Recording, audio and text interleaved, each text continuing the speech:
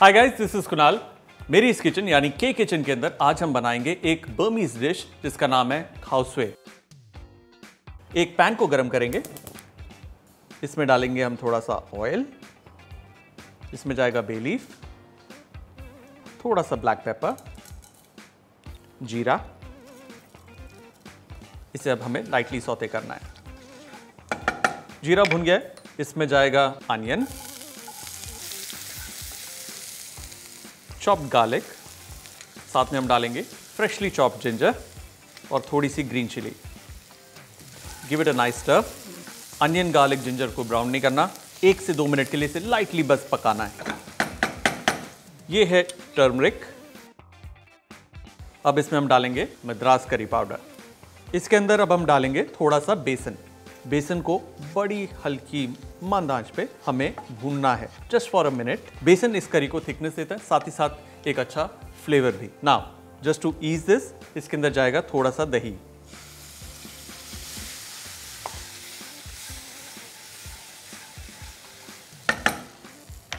इसमें अब हम मनपसंद सब्ज़ियाँ डाल सकते हैं। I have carrots mushrooms and broccoli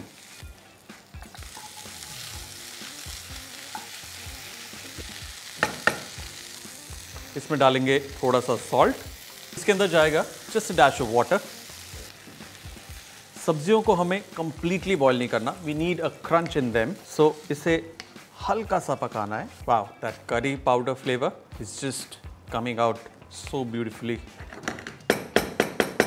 इस स्टेज पे हम डालेंगे इसमें coconut milk lots of coconut milk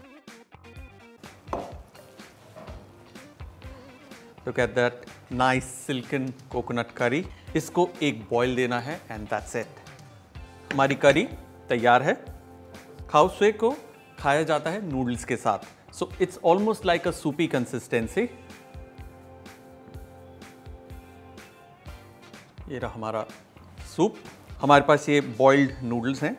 इसे हम एक फोक पे इस तरीके से रोल कर लेंगे। This is only for presentation purpose it looks much more neater roll it up and then just place it in the center. Again, just इसके ऊपर हमें इस तरीके से लपेटना है। ये है हमारी खाउसवे और ये है हमारे अकम्पनीमेंट्स इसके ऊपर मैं थोड़ा सा चिली फ्लेक्स थोड़े से रोस्टेड पीनट्स थोड़ी सी चॉप स्प्रिंग अनियन थोड़ा सा ब्राउन गार्लिक फ्लेक्स थोड़ा सा brown onions finally garnish it with coriander sprig हमारी khow suey along with the accompaniments done